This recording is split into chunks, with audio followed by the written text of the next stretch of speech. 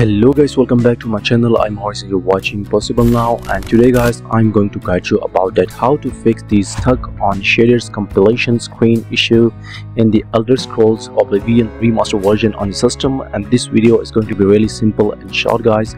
So just watch the video till the end. And if new in this channel kind of like like this video share to your friends and subscribe to the channel for more content. And without any waste of time let's start the video. So guys method number one here is we need to clear the local cache files so first we all clear the system cache to ensure no corrupted files are interfering with the game. So open the disk cleanup and right click to start menu and select run and type the clean mgr and press enter. And select the drive where your game is installed and click ok. And now delete the temporary files. Once the scan completes check all available options especially the temporary files and click OK to clear them. Now delete the GPU cache uh, files, open run again and type here percentage local app uh, data percentage and look for a folder named AMD or NVIDIA depending on your GPU and open it and select all files and folders then delete them all.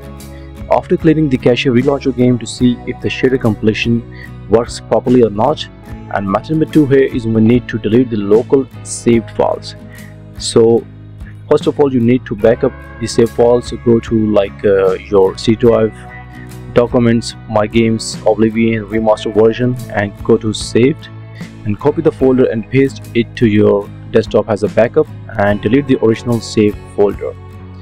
And repeat for app data save. Uh, open documents my games oblivion remastered go to saved and again backup and delete the folder. Now relaunch your game and check your problem is resolved or not last method guys is way to game pass users.